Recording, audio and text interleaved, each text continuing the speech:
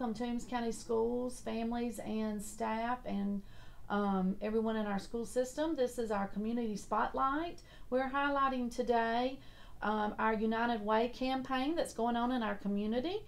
I'm here today talking and learning more about United Way with the executive director, Miss Patricia Dixon. She's here to explain United Way and what's going on right now during this school year. It's been a tough year with COVID and everything going on, but we are still at work helping our local um, agencies to help our world and make it better. Miss Dixon, just give us a little bit about what you do exactly with United Way and how it's helped our communities. Well, thank you so much for coming and letting me share a little bit about what our United Way of Toombs, Montgomery, and Wheeler counties is doing in our communities. We're excited again to have Toombs County on board, and y'all are doing a great job this year under the leadership of Rhonda Benton. She's just been right there and just got it going really, really good. So, thank you, thank you for your support.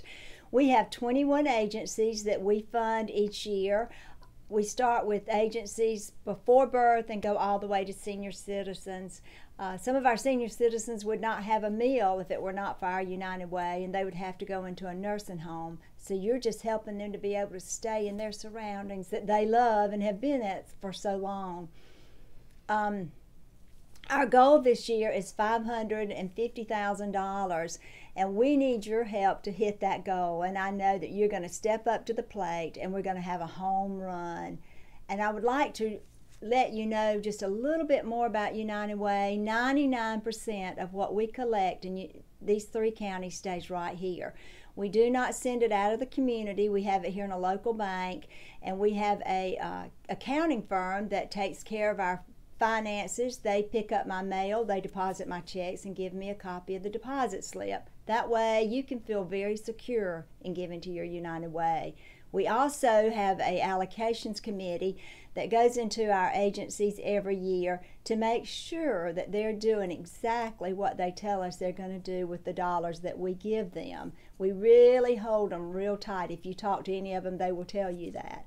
So again, I would like to thank you uh, for what you're going to do. I understand y'all have a challenge out there. I want to know if all your schools have met that challenge. I sure hope so. Barry, you hear that?